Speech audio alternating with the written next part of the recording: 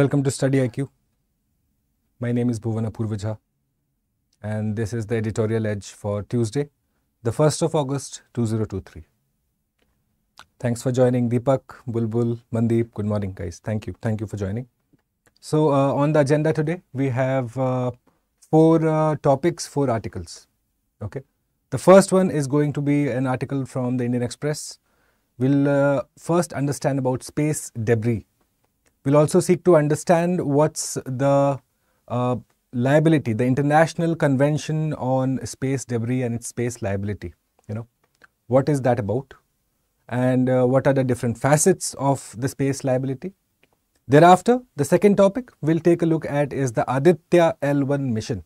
Okay, on the August uh, the 26th, which is just 25 days from now on, India will launch its uh, Sun observation mission.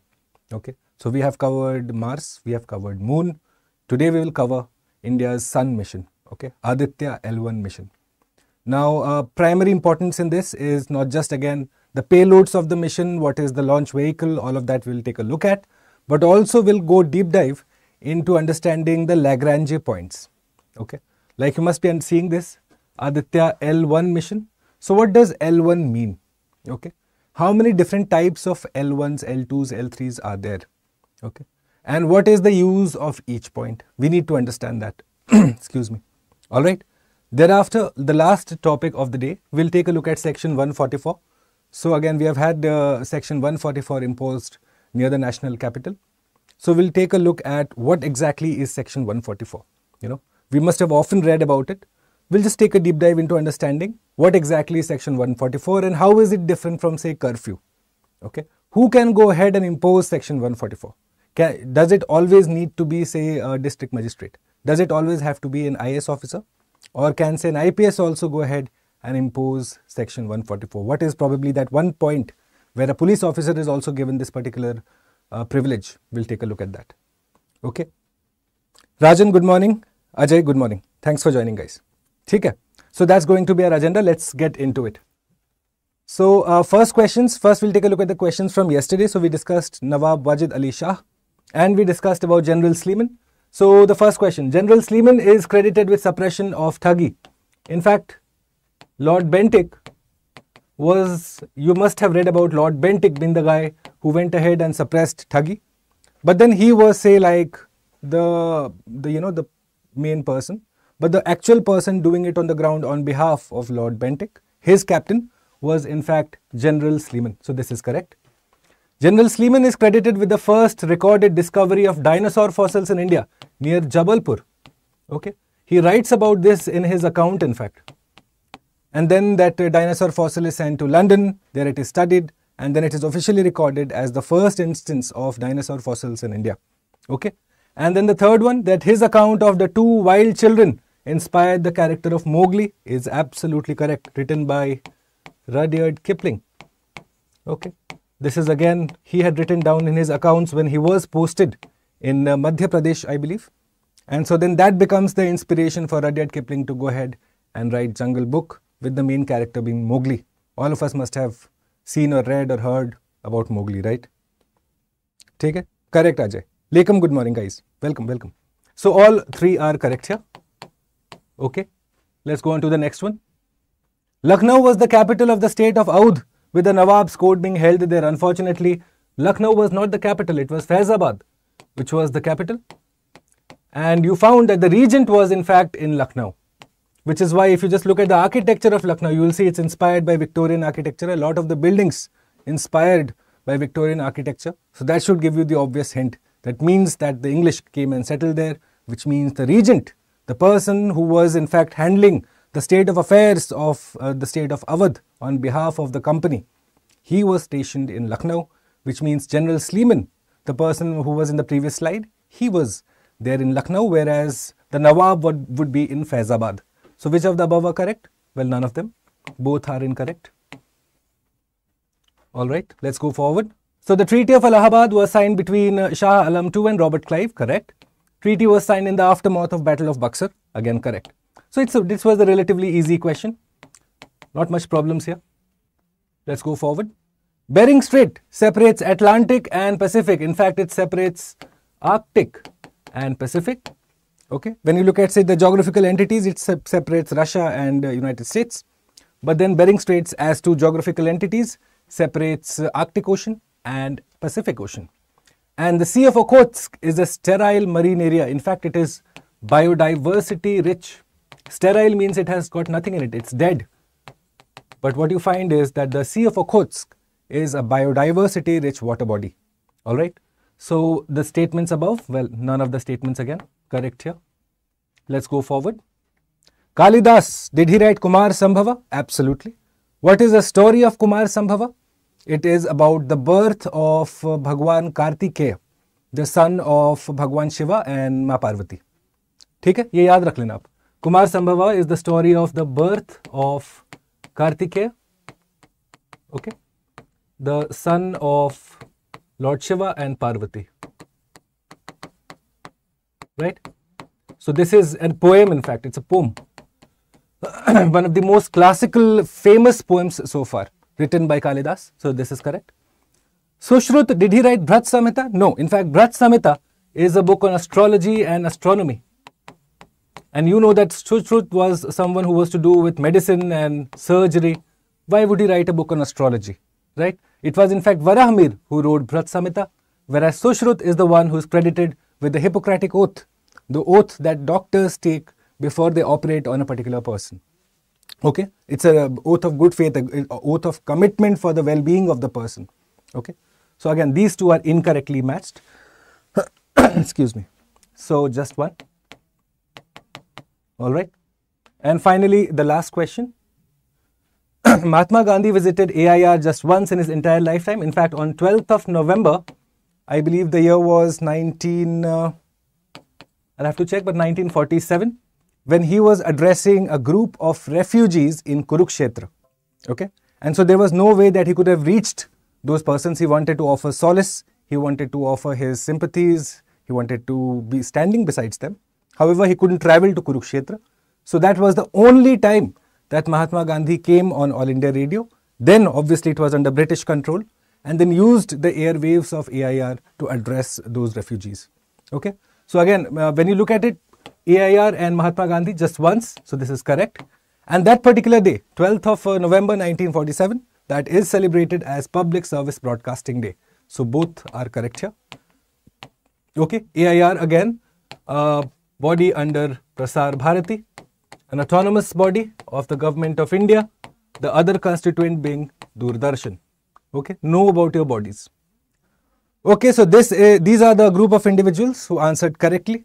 Okay, and I'm immensely grateful for their participation. Uh, Fervin, Shubham, Asha, Jyotsna, Pranjul, Mandeep, Tanu, Pooja, Evergreen, Lekam, and Karuna. Lekam, please pardon me this small mistake, small typo. Okay, but to the rest, go ahead, be a part of this. You see, the questions are designed to test your understanding on the lecture that we have. It's an intensive one hour session. There is no chit chatting. We look at the topics, we understand questions. Outcome based learning is the focus. Okay? No problem साका आज का try करना आप and I hope you feel better आशा good morning okay let's go forward guys so the first topic i have for you now you must have seen the particular news where a particular space debris you must have seen the news saying that, okay, it was a part of an ISRO mission that was found in Australia. Okay. Some obviously newspaper reports went overboard and said, oh, it was related to the recent uh, Chandrayaan uh, launch. Obviously incorrect. Because what was seen was that this particular cylindrical body, okay, this cylindrical looking uh, structure, in fact, this came up on the shores. Oh my God, what's my drawing like? Okay. This cylindrical structure this came up on the shores of Australia and what was found was that it had a lot of barnacles. Do you know what barnacles are? You know, you have this sea growth. Whenever something stays in the ocean for a long time, you have this sea growth, sea growth that comes up on the sides of objects, metallic or non-metallic. Okay. So those barnacles were also observed. So what does that tell you? That that particular entity had been in the water for a long time. So it could obviously not be related to Chandrayaan. So what was eventually found out was that it was of an older mission, a PSLV IRNSS mission, and that eventually has now washed up to the Australian shores. Okay, it was found here near Perth. There is a bay, in fact, it's called Jurien Bay. This is where that particular entity from ISRO was found. Now, obviously, straight away first, let's establish the facts. not connected to Chandrayaan. Okay? So it was, it is again thought to be of this particular mission that was just over like uh, some time ago. Okay? And so what do we understand? PSLV, four stage rocket powered by solid and liquid fuels. Let's go back through the PSLV first. Okay. It has operated most of India's major missions. Chandrayaan, you must know, was on LVM-3. Okay, one of India's heaviest uh, launch vehicles. However, to the rest, if you see, you know, you look at say Chandrayaan 1 or you look at Mangalyaan or what we'll understand today, Aditya L1 mission, all of them will be using PSLV. So therein is your first difference. Chandrayaan 3, the recent one, was on LVM3. Make a note of this guys, I'm sure you must know it by now. Right? Whereas the rest that you're looking at, say uh, the Sun mission that is proposed to uh, take place on August the 26th, just 25 days from now. So that is going to be using PSLV. So obviously know about the stages. First stage, solids. Second stage, liquids. Third stage by solids and fourth by liquids. Alternatively it goes. Okay, remember the stages. Good morning, Rani. Welcome, welcome. Okay?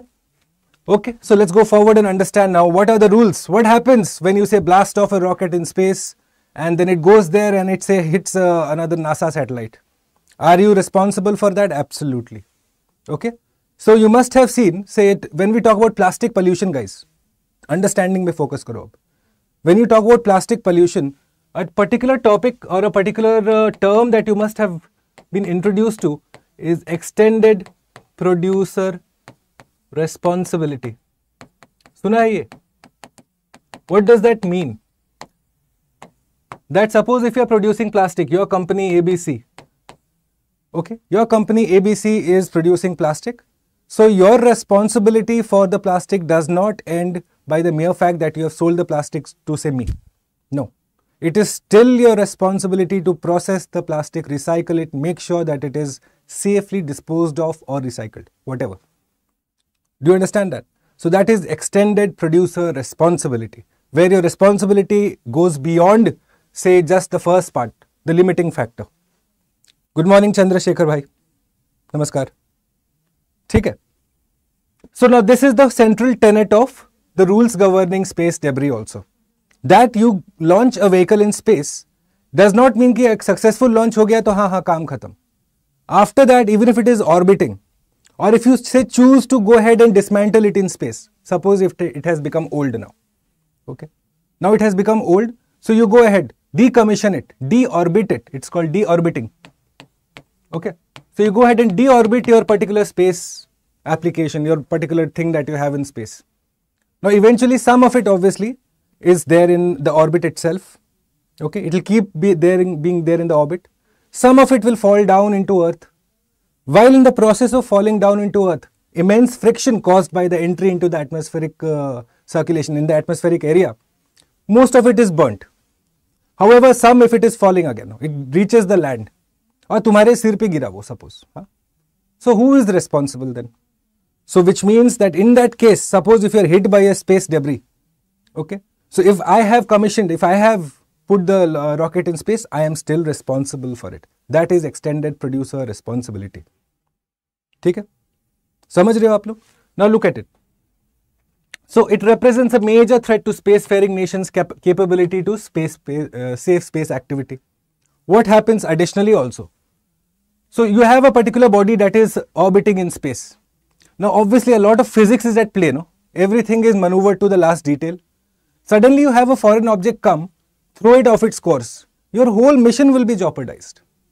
Do you realize? So even a minor thing at that altitude, at say a very high velocity, can cause a lot of damage. Structural damage along with say throwing you off course. Okay. So you have say the International Space Station so it operates a ballistic shield sort of mechanism to make sure that it is not hit by these sort of small, small space debris. Okay, so let's look at it now. The falling space debris, now normally it lands in oceans or uninhabited areas. So in the case, so you have these multi-stage rockets. तो तुमने देखा होगा ना after a particular thing, a part of it separated, which means it fell down somewhere. Now ideally it is maneuvered in such a way, designed in such a way that it falls over say empty ocean area or say desert area. Okay. Now again, just because it is falling in the ocean, now what happens? immediate threat to life minimal रहता है because everything is calculated to the last decimal here. So what happens? Eventually you have the space debris, that metallic object falling in the sea, now adding to the marine pollution. Now in the chance that that particular object that has fallen into the sea washes into the territorial boundary of a particular country, then the problem arises. Okay? That it may not necessary नहीं है कि आपके घर के ऊपर ही गिरे आपके boundary के पास में भी गिरा और आपके टेरिटरी के अंदर आ गया। Still this liability kicks in ठीक है? तो अब आप समझो कैसे होता है। Obvious you looking at marine pollution plus accidental landing in the of chance that it है now suppose it washes up on your shores it landed अब suppose this is our country it landed up somewhere here eventually worst Goa के coast पे आ गया. Can India claim this particular convention absolutely it can okay so the convention on international liability for damage caused by space objects 1972 it came into force. Now let's look at the key arguments about it. Okay. So the whole job of this liability, this space uh, liability, damage liability, is to support the Outer Space Treaty, which is considered to be in a way the Magna Carta of space law.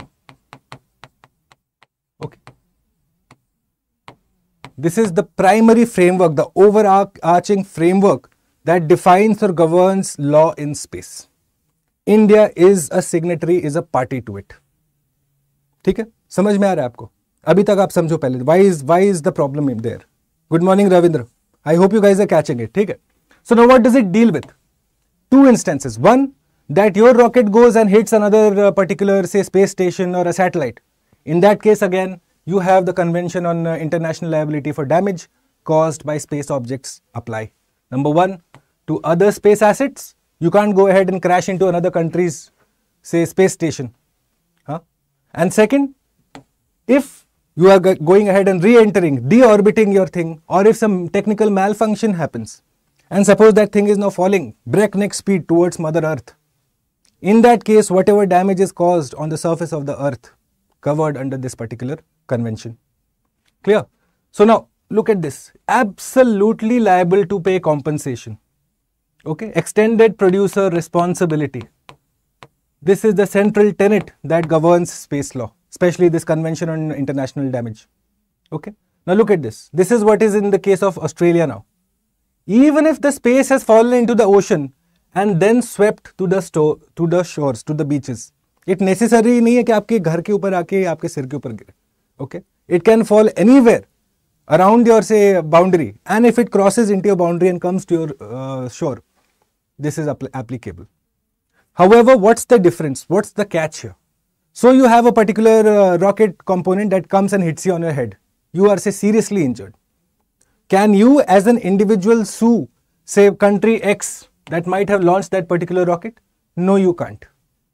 Not given this particular uh, convention, this international liability is not applicable for you as an individual or corporations. No they have to be represented at a government level.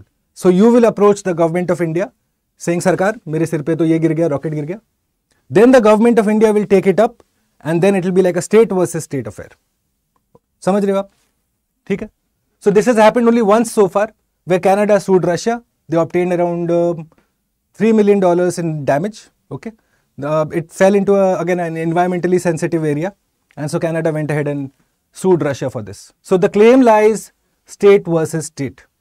So you have to approach the government, the government will take up your claim against say the launching organization and its country. Okay. This is the whole convention on international liability for damage caused by space objects. Let's go forward. Let's look at this question. Now this question I'll just, because I have to give you the answer for this. So look at this. This is Earth. Okay.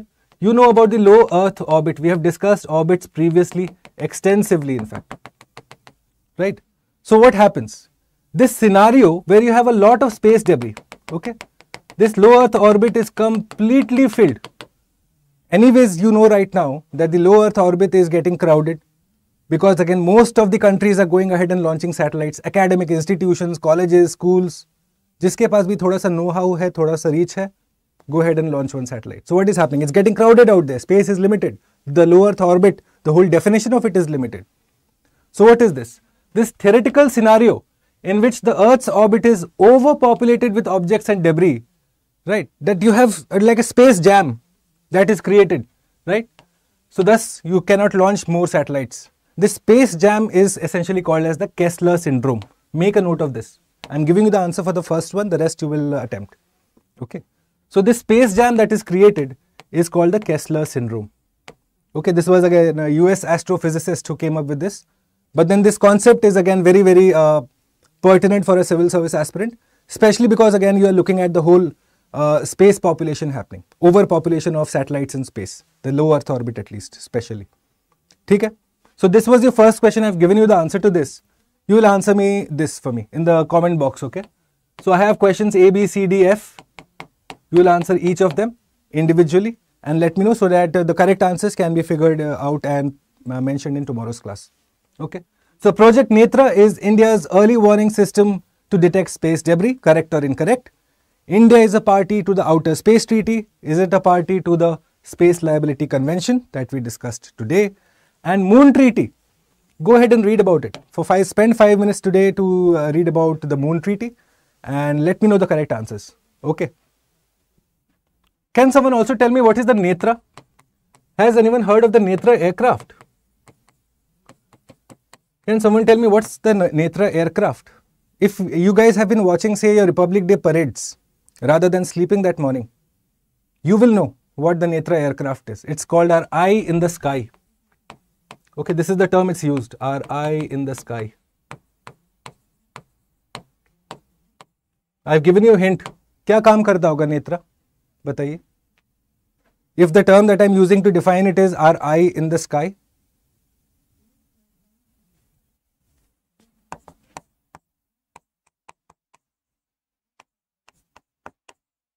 this is it what it's called advanced early warning control and aircraft system okay advanced early warning control and aircraft system okay. It's essentially a surveillance aircraft. A AWACS bolte hai na correct. Okay. It's uh, called an eye in the sky. Okay. Know about your aircrafts. Have a genuine interest in the defense of your country. Then you will be able to make better sense of say the defense reforms and this and that. Be genuinely curious. That's the first rule of being uh, preparing for civil services. Be genuinely curious. nahi to rat ke to hoga hi nahi isme theek hai okay. This one. Meteorites are categorized as space debris the first slide of uh, the first point of my slide whether space debris is just human made or is it all uh, compo components let me know. Is space debris completely human made? Or say the natural organic thing that is moving around can also be categorized as space debris? You let me know this. Only a state shall bring forward a claim against a state under the Space Liability Convention. Yes or no? Extended producer responsibility is the guiding framework of the Space Liability Convention. Identify the incorrect statements. You will also let me know the answer to this.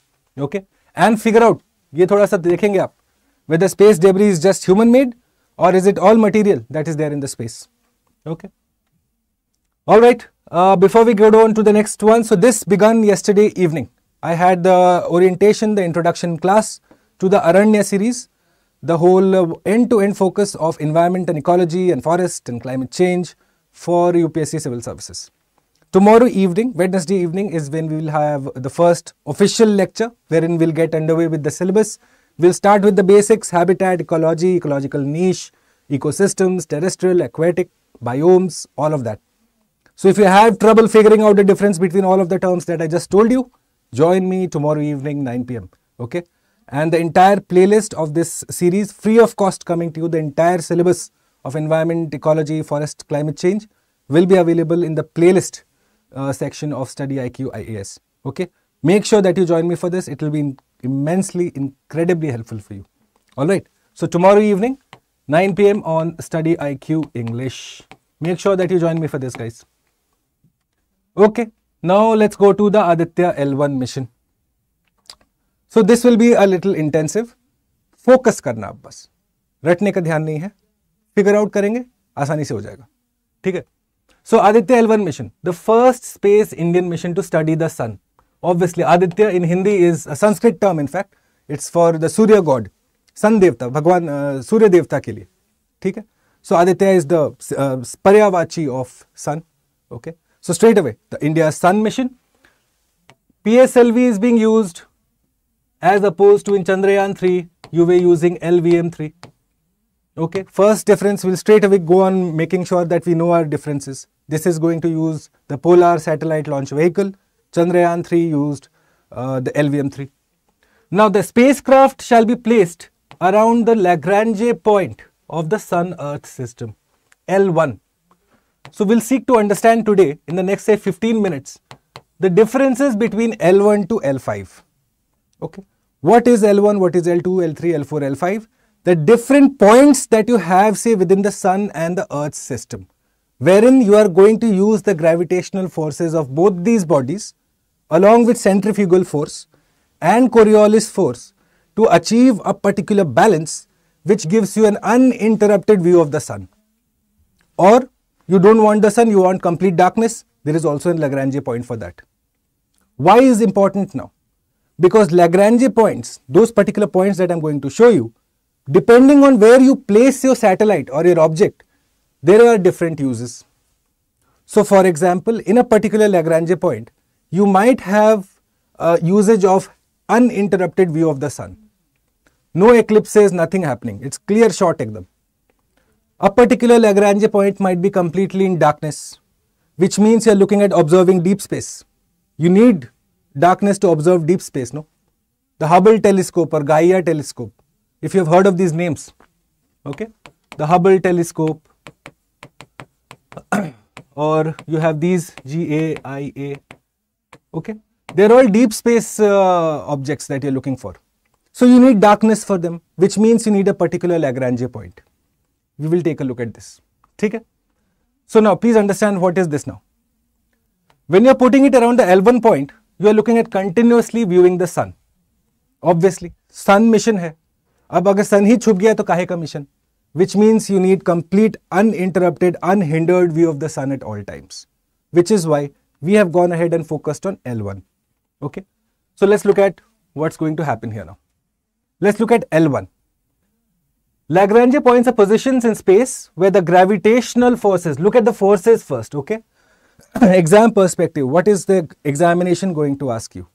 The first question that comes to my mind, for a particular point, okay, what are the forces acting? MCQ किससे बनेगा देखो पहले. What are the forces acting? The gravitational force of both the sun and the earth, you are also looking at what? Uh, centrifugal force, right? You are looking at centrifugal force and you are looking at the Coriolis force. Forces acting, gravitational. So, gravitational plus centrifugal plus Coriolis of each body. That is necessary for you to determine that particular point in this Sun Earth system which is stable or unstable depending on your requirement. What is the L1 position now? Look at this. First understand, the closer you are to the sun, okay, the smaller your orbit is, the faster you are going to move, right? And the farther away you are from the sun, the slower you will complete your orbit, which is why say Pluto's uh, one particular movement around the sun is many years, right? Mercury does it a lot faster. So this is the problem. This is our assumption here that the closer an object is to the sun, the faster it moves. So any spacecraft going around the sun in a in a orbit smaller than the earth, okay, if you are in this particular territory, you are looking at what? If the earth is here, you are already here. When the earth is here, you are already here. You are going faster than the sun, right? So there is a loophole in this whole conundrum now. What is the loophole that we are looking at? That if the spacecraft is placed directly between the sun and the earth, you are looking to achieve balance between the earth's gravity and the sun's gravity. So at a particular position here between this area, between the earth to the sun, there will be a point, look at this here, there will be a point wherein you are going to achieve that particular balance wherein say the speed might be equal to earth's or at the desired rate that you want. Okay. So that becomes our L1 point, right? Let's go ahead and look at it. This is the particular point that you're looking at A smaller orbit than the Earth. At a particular point, both these forces are exactly at the level that you need. Now what happens? You are receiving sunlight faster than the sun, uh, faster than here on earth. Earth में कितने minute में आता है साढ़े आठ minute में you are receiving sunlight there already at say four and a half five minutes okay it's around close to 1.5 million kilometers this distance okay so you can straight away understand that the, you are receiving sunlight faster at the same time, you are able to position yourself in such a way that you do not fall in any shade, right? That say the other uh, particular uh, planets that are in front of you, they do not hinder your view. Do you realize this? This is the L1 point between the sun and the earth and being counterbalanced by the sun's gravitational force, its own pull, and earth's minor gravitational force. Okay, this is our L1 point. Now, what is our L2 point? In this case, your object is behind the earth.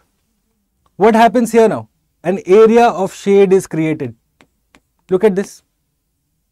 Right? You are looking at this whole area which is now in shade. So what happens? Perfect position for the deep space missions. You have like a mirror, uh, like a backing behind you. So you are able to see now in the darkness. क्योंकि ऐसे क्या हो रहा है it's like looking in to the torch how are you going to look in to the space if you have a torch behind you. You need some darkness to observe, no? So L2 is the point just behind the surface, behind the uh, side of the earth. Okay. So here you have the sun, here you have the earth, and here you have your mission. Okay. So you are on the night side of the earth, you are behind the earth in the darkness. Okay. So here, look at this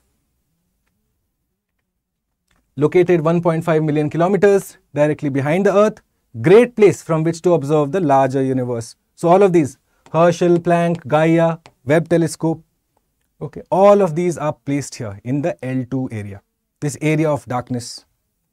अब आपको सन देखना है तो L1 में जाओ अर्थ ये space इसमें deep space देखना है L2 में जाओ okay then you have L3 wherein you are what behind the sun now look at this this is earth this is the sun now you are behind the sun पहले क्या था L2 में क्या था आप यहां पे थे you are behind the earth in L3 you go behind the sun opposite earth so what happens straight away you are blocked from seeing the earth you can't see the earth earth can't see you essentially you are at a particular stability these three particular bodies they are coming together now so you cannot see it from the earth okay so please understand now, L1, L2 or L3 are the, called the metastable or in fact it is called like a partially stable. Okay. So you have these five Lagrange points L1, L2, L3, L4 and L5. What you find is that these are called essentially the unstable points whereas L4 and L5 are the stable points. Now we will I'll understand I'll make you understand how that is. What do you understand in all these cases that I told you, L1, L2, L3, you are essentially at a, say at a particular point where there is particular uh, stability that you have achieved from both sides, the gravity of this side, the gravity of that side, your own centrifugal motion plus your Coriolis. Now that you have achieved that stability, you need to keep firing your rocket boosters to make sure that you have that stability at all times. Okay, because again, you're, you're, you're going through your own motions, so rocket boosters are required in L1, L2, L3 to make sure that you keep achieving that stability on a real-time basis. Whereas in L4 and L5, rocket boosters are not required. Once you are lodged there, you are there. Now how does that happen? Let's understand L4 and L5 now. So here, look at this now. You have a, first look at the sun. So its gravitational field is acting something like this. Then you have the earth's gravitational field that works alongside it right? So are you seeing this? This is the gravitational fields that are being formed here. Straight away what you find is this particular zone becomes an area where there, there is no particular force acting. Similarly, this particular area becomes a zone where there is no particular force acting. You see, this is in fact the whole plane on which the unstable ones are. The moment you go above, you are stable again. Because again, the sun's gravitational force, the earth's gravitational force, they are converging at that particular point. They're interacting, which means there is a zone being created. That zone on both the sides, L4 and L5. Okay? And these are essentially at an angle of 60 degrees. Both sides. 60 degrees planar, you know, going this way. That is L4 and L5. Clear है? L1, L2, L3, L4 and L5 ऊपर नीचे. ठीक है? Let's look at this now. L4 and L5 lie at 60 degrees ahead and behind the earth. Now they are resistant to the gravitational perturbations. Why? Because again, this is where both the gravitational fields of earth and sun are colliding, which is why you have a zone being created wherein understand it like a say a bowl. Okay, you have a huge bowl. Put a ball in it. Eventually, say if you roll it down, what happens? It will travel, travel, travel, and then settle at the base. Right? That is your L4 and L5. That particular zone of stability where it has gone ahead and settled into the base now. Nothing more is acting on it. Okay, that is L4 and L5. Yaad rakho ye aap. India is putting it at the L1 place, the L1 Lagrange point. Clear? L1 is between the earth and the sun. What you're essentially looking at to do is to go ahead of the earth and then study the sun from a little close. You know, you're about your coronal mass injection that you have, solar flares that you hear about. Or say how exactly, because again, quite literally, sun is the center of our universe. So it makes sense for us to understand the sun because again, everything is codependent on the sun, right? So this is why India is going ahead and doing it. Now, has any other country done it so far? Yes. There is a particular instance called the SOHO mission. Okay. The SOHO mission is already operating at the L1 position. Okay. A SOHO mission was between the European Space Agency and NASA, where they have already put in a body that is going and studying the sun from up close. India now is looking to join that club, sending its own solar mission to study the sun up close. Good morning, Chandani. Welcome. Welcome, guys. Clear hai aapko? Okay. So let's look at now the payloads. We'll do an extensive class on the payloads. Okay. We'll do an extensive class on the payloads because again, to understand this, you need to understand all of this. What is coronal heating? What is coronal mass injection? Okay. What are the dynamics of space weather? You know, how are you looking to study space weather? You know, you must be aware that space is all vacuum, right? This is what we have been told since our childhood, that space is all vacuum, that there is nothing there, it's complete silence. Then how come we are going to learn about space weather? Okay. So again, very important from the civil service perspective. We'll do an extensive class on this. Today, I just want to focus our understanding on L1 to L5. Once you have these ready, then you'll understand what India is looking to achieve by sending these seven payloads. Okay. The VELC is of the most importance. It deserves a thorough look. I don't want to compromise on the understanding, so we'll do a class on this. Today though, focus your understanding on L1 to L5. Okay. So now this is what the whole uh, payload's uh, mission objective is, what it is looking to study, what it is going to carry. For now, your understanding should be that PSLV is the launch vehicle being used, which will be used to transfer it to the L1 orbit L1 से आपको क्या expectation है मैंने आपको समझाया अभी okay alternative name for L1 place Lakum, it is called by uh, Lagrange points only because this was, uh, I think, discovered by the scientist. I don't know his country, which uh, what is the country of his origin. But then these points L1 to L5 are credited to him, so which is why it is known as L1 to L5 because the guy came up with the whole, you know, whole research. Okay. Okay. So the trajectory again, if you have seen the news today also, our Chandrayaan mission after doing this, after, this is the earth and this is the moon, well it was in orbit so far, right? And today morning it has gone ahead on its uh, journey finally to the Moon. Till now it was just achieving height, orbital velocity wo lete ja raha tha. So this morning only, it has now finally headed off to the Moon, and I think it will uh, arrive in the Moon's orbital uh, effect by say August the 5th. So four five days you know.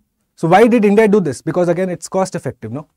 And the US, when they send it, it's direct boosters के साथ ही पहुंचना उनको straight line में.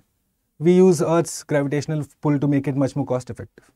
Yes, this is why we use common sense rather than just going and polluting the whole space. Okay, so this is the whole point of this also. We'll discuss about it later. Let's look at these questions, guys. L4 and L5 are the only stable Lagrange points. Remember, L1, L2, L3. I've told you they are called metastable, which means that they need to use rocket thrusters to maintain stability. If they do not use rocket thrusters, they become unstable, right? Deep space observation telescopes use L2 point, okay? Solar and Heliospheric Observatory, the SOHO project, okay? And SOHO was jointly launched by the NASA and Roscosmos. Which of the above are incorrect? You will let me know. All the answers I have discussed in the previous say 10 12 minutes. Clear? All right, let's look at the next question. Okay, the primary launch vehicles, guys, please have a basic idea. Okay, very, very important. A host of discussions is happening on primary launch vehicles. Then you are looking at reusable launch vehicles, right? What Elon Musk is, uh, Elon Musk's company is doing, right? So again, this is something we'll do it in uh, detail also. But primary launch vehicles, say suppose today we have PSLV. It's called the workhorse of ISRO. Or today we have say the LVM, which will be used for the Gaganyaan mission. Okay. So these are our primary launch vehicles, which we use to get our machines, our satellites up there. So again, other countries also, other space agencies also have their launch vehicles. So again, European Space Agency, is it Ariane 5? Yes or no? Roscosmos, does it use the Long March? Now the name should give you a hint, huh? The name should give you a hint. Which country could it be? Okay. Soyuz, the Japan Space Agency, Space Launch System, ISRO. Which of the above are incorrectly matched? You will let me know. Plus, let me know the correct answers also. Okay. Kiska kaun sa hai launch vehicle? I have a good idea of this. Okay. All right. So, uh, this is my Telegram channel, by the way. If you're watching this for the first time, go ahead, join me on Telegram. We are uh, expanding by the day, and all of the information of my sessions is first shared there. In fact, credit to the Telegram channel and the members of this group that it was because of their participation in a poll that I had put up that the whole concept of the Aranya series, yes, the Aranya series of uh, that I discussed yesterday, the opening class of this, it came up thanks to the members of this group. You know, it was only to their credit. I just gave them an uh, option, and then finally the consensus was that we should go ahead with the Aranya series. After which we will look into the CSAT series. Okay, so again, go ahead and be a part of this. And I am finally on Instagram also, guys. Okay. देर आए अब देखते हैं दुरुस्त आएंगे कि नहीं but I am on Instagram. And so if you would like to join me for say uh, particular discussions or strategy guidance, go ahead and connect with me because I know email is a little tedious. So what I've decided is going forward, the Telegram we will use for say PDF distribution, questions. Uh, I'm going to upload model answers for the questions of the environment series. I'm also looking at polls and all of these uh, MCQs being posted on Telegram. The mains answer writing that we often do in this session, you are going to still email me your answers.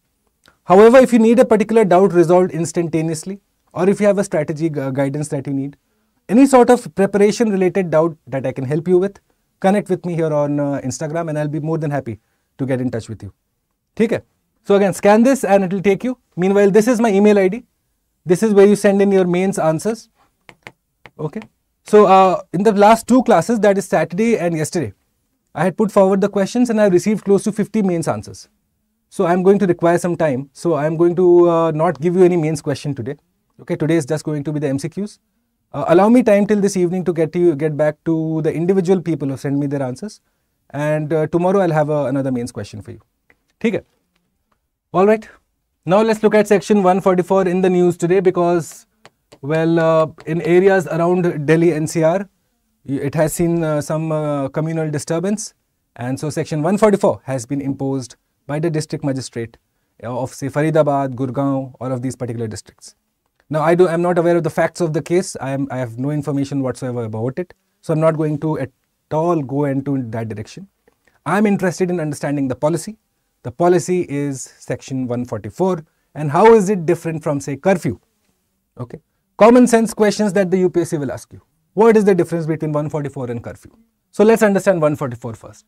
It's an emergency provision, firstly. You cannot go ahead and just, you know, the DC चाय पीते पीते कि आज 144 लगाते can't do that why even though it is say an administrative decision by the district commissioner the district magistrate the subdivisional magistrate the executive magistrate or the police commissioner why am i telling you this please please understand first who can go ahead and impose this either the district commissioner, the district magistrate, same people, different names. You're looking at the sub-divisional magistrate, iska junior. The executive magistrate, similar rank, okay. Or you can have the police commissioner or a representative of him. Why am I telling you these things? Because what happens is in India, when it comes to district administration, there are two models that are in place. One is the dual system Okay. The dual system is where administration and judiciary or say some judicial functions are with the DC and law and order is with the SP. This is the dual the dual system of district administration. However, in some metropolitan areas and some special areas, you find that commissionerates are created. Pata hai na commissionerates. So, for example, in Noida, which is just adjoining to uh, New Delhi. Okay, Noida has a commissionerate. Okay, major sit, uh, provinces or not provinces, areas in Uttar Pradesh are divided under the commissionerate system. Why is that there? Because again, certain reasons, you know, it improves say administration, law and order is much more regularized. So what happens in the commissionerate system? That the police officer also is given such quasi judicial powers okay, that you are given powers to go ahead and impose section 144. Okay. So, who can go ahead and impose it? Obviously, the executive people are there, the IAS, the state civil service guy, they can do it. But in a commissionerate system, either the police commissioner or a representative authorized by him, so some D DCP rank or DSP rank, whatever, the level that is decided by the police commissioner can go ahead and enforce 144. Okay. So now it empowers DC, SDM, executive magistrate to go ahead and prevent such issues. You know, if you're apprehending that the law and order is going to be vitiated, that there is some problem that you're anticipating, 144 ab lagate ho. What happens in that case? Firstly, there is uh, a little restriction on say gatherings. Three or more people not allowed. Okay. Unnecessary movement is not allowed. Okay you are looking, you can still go out, you can still go to your office, no problems. But then the legal provisions are there only if the number is crossed. Okay. At the same time, internet can be uh, cut off in 144. Okay. So let's look at it.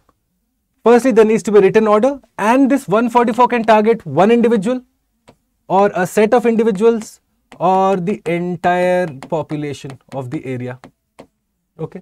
So first the major misconception इसकी 144 लगता है तो सिर्फ area के लिए लगता है नहीं बंदे के लिए भी लग सकता है if it is just one individual that से the DC is convinced that his him being out will cause problems 144 can be imposed his restriction his freedom of movement can be restricted the other way to do it is preventive custody थाने में ले चलो उसको okay so 144 can be done for individuals set of individuals plus the whole population now, at a time, once you have, as the DC has gone ahead and said, okay, 144 is in place, it is considered to be in place for two months. Okay. It is considered to be in place for two months until and unless another written order is issued by the DC saying, okay, no more 144. However, it cannot cross the time period of six months. समझ रहे Two months, it, it's considered to be once the order is issued until say the DC after seven days goes, okay, under my hand and seal, the 144 that was imposed on such and such date stands, say, dismissed or null and void from today or has been rescinded from today. You know, order issued, khatam. 144 out. okay. So, your restrictions on movement, carrying arms and unlawful assembly. Okay. Three or more people, if you are caught, वो आपको थाना में लेके जाएंगे ठीक है so it remains in force for two months unless the state government considers it necessary to extend it, but it cannot cross six months. Okay, two months to six months. However, it can be lesser than two months if a DC passes an order. just his same, he also issues the order. If he says, okay, I feel convinced that 144 is no more necessary, 144 is finished then. Now look at it. This is the order that was issued yesterday in Gurugram. Okay. Have a look at it. I'll share this in my Telegram channel. And so you shall see the various clauses that are issued there. Okay. That you can still go ahead and carry, say, a particular uh, religious uh, objects that you have that can be considered to be, say, objects of threat. You have religions that have, say, particular facilities for carrying swords or small knives.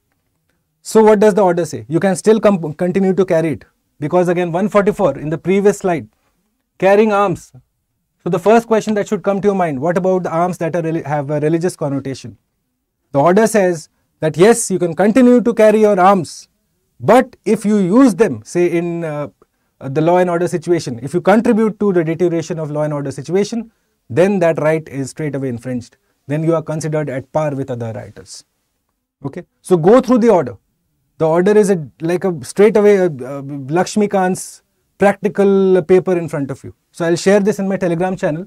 Have a look at the different clauses. Okay. This is the DC, Nishant Kumar Yadav. He has gone ahead under his hand and seal and issued the whole order. Look at it, study it. Okay. Then you'll understand what exactly 144 restricts for us, what it imposes, what's the liability on the citizens that is put. Okay. So now what is the issue with it? The court has observed that you cannot go ahead and arbitrarily uh, enforce 144. That there needs to be uh, a good reason to do it because again at the same time you're restricting the rights, the civil liberties of the people. However, the Supreme Court also has upheld this saying that it is under the reasonable restrictions that we study in the uh, polity. Yes, reasonable restrictions so 144 is a part of the reasonable restrictions that can be enforced on citizens. Okay. So it gives absolute power to a magistrate that may be exercised unjustifiably. There is no immediate remedy. That's the problem. You can move a writ petition in the High Court, but then by the time you move the writ petition, damage would already have been done. Okay. So the lack of immediate resolution or grievance redressal is a major criticism. Okay. So you can approach the High Court for a writ petition, but by the time you go ahead and get your particular uh, remedy from there, your rights could already have been infringed, trampled. So that is one of the primary criticisms of section 144, that it prov provides the district commissioner or the district magistrate or the police commissioner with inordinate power in disrupting the lives of the citizens. Clear?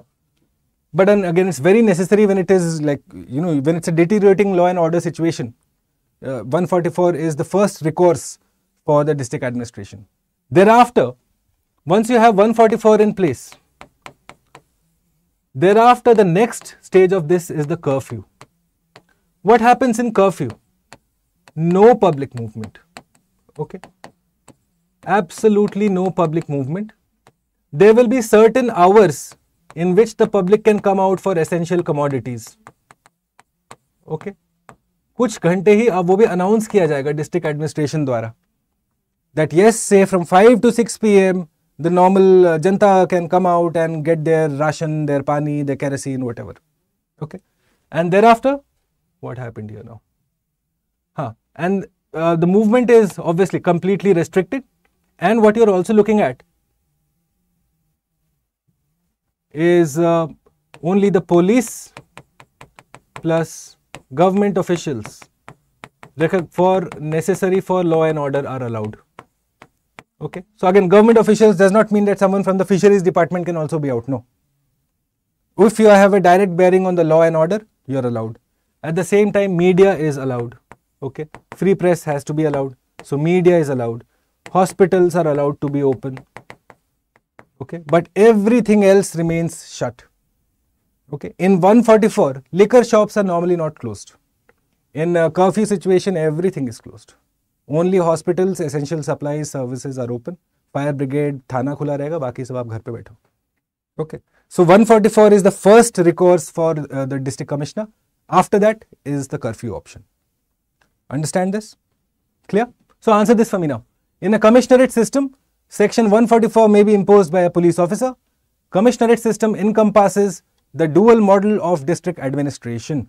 Identify the incorrect statement. I have given you the differences between the dual model versus the commissionerate system. Okay. Go ahead today after the class, spend five minutes and have a look at the areas in India, the particular districts or the ranges in India that have a commissionerate system. Okay, then you will understand why they have been imposed. Normally, they are imposed to streamline administration, to give the commissioner power of law and order at the same time, say, uh, quasi judicial powers, giving them the civil administration powers. Okay, why is the what's the usage of it? We can discuss it uh, threadbare, say, in tomorrow morning's class. If again it's a doubt, you will let me know in the comment box. If you understood the four topics that we discussed today, uh, especially the L1 to L5, very, very important for prelims perspective, guys. Given that ISRO is doing something good or the other every second day, you know, it's a rockstar organization. So, as civil service aspirants, you need to be aware of what the rockstar organization is doing, which means you need to be aware of each and every detail. L1 and L5, L2, 5, L3, L4, L5, very, very important. So if you understood this, if you if your doubts are there, please let me know in the comment box. I'll be happy to address them. Or else leave me a like. I really appreciate it. You know, it's a lot of hard work uh, uh, getting these notes out, but I only do it for the love of teaching, to be honest. I just love being here every morning, interacting with my students and learning together with them. Okay. So leave me a like if, if it helped you and I shall see you tomorrow morning, 8 a.m. Meanwhile, uh, leave the answers for uh, the questions that I have for you in the comment box. And don't forget, tomorrow evening, 9 pm is also the first class, official class of uh, the Aranya series, the environment and ecology. So I hope that I'll have your participation then too. Okay? Have a wonderful day, guys. Uh, if you have any questions, just let me know. I have a couple of minutes. Any questions from uh, today's class? Any doubts? Anything at all? Please, guys, make sure that L1 to L5 pe dhyan dena Okay, please, because that is important. Okay, Aditya L1 mission, the payloads of it, we will do it threadbare in say tomorrow's class. We'll get it done. So that your Chandrayaan is done, your Mangalyaan is done, your Suryayaan or L1, Aditya L1 mission is also done. Okay. All right, guys. Have have a wonderful day. Stay safe, and I shall uh, see you tomorrow morning. No, Deepak, I'm not disheartened. Not at all. I have I have your company now. How can I be disheartened? Yes. Thanks though. Thank you so much. All right. कल मिलते हैं सुबह आठ बजे bye